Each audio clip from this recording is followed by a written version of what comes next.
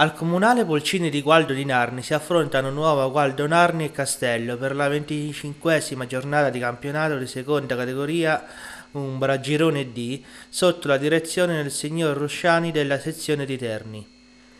Padrone di casa in cerca di una vittoria per lasciarsi alle spalle la sconfitta del turno precedente ed ospiti in cerca di tre punti per un miglior piazzamento nella griglia playoff. Il castello si rende subito pericoloso con Paragnani, prima al sesto, servito in area d'Ardizio che si gira ma non trova lo specchio della porta, e poi all'ottavo con un tiro da fuori aria con la palla che finisce sul fondo. La reazione del Gualdo non si fa attendere ed arriva prima all'undicesimo con De Angelis e poi al ventinovesimo con Capirotti con la palla che si spegne sul fondo.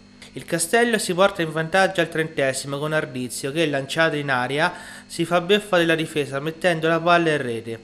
Castello vicino al raddoppio al 37 su calcio piazzato che passa in mezzo alla barriera ma trova a buon tempo ben piazzato.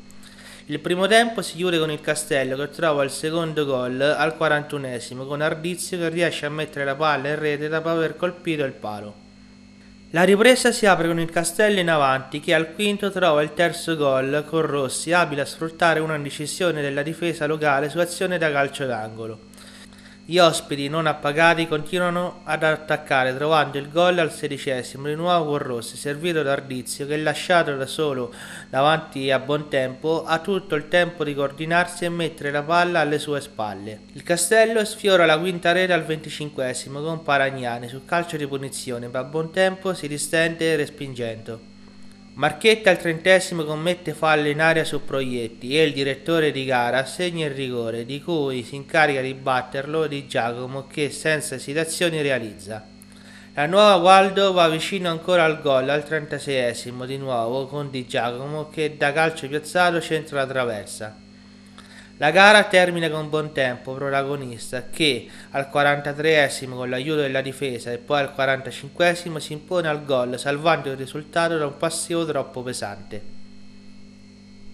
Allora, buonasera a tutti, innanzitutto ringrazio sempre la possibilità per poter dire quattro parole a beneficio di una squadra che merita questo cammino e oggi eravamo un po' preoccupati perché l'avversario all'andata ci aveva dato buon motivo per essere preoccupati, dato che sono organizzati in campo, sono allenati da una, un ottimo allenatore e quindi conoscendoli avevamo molto timore.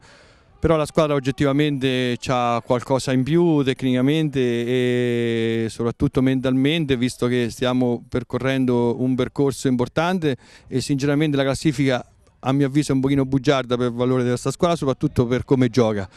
Veniamo da un periodo ottimo, di una lunga serie di risultati positivi, speriamo di continuare così. Oggi apparentemente è stata, sembra abbastanza tutto facile, però, però, prima di giocarle le partite sono tutte difficili e mh, speriamo che riusciamo a centrare i nostri obiettivi e per poterci giocare tutto fino alla fine. Vorrei fare i complimenti ai ragazzi perché oggettivamente, come voi potete essere anche testimoni, giocano un bel calcio. Eh, credo che chiunque venga a vederci si diverta.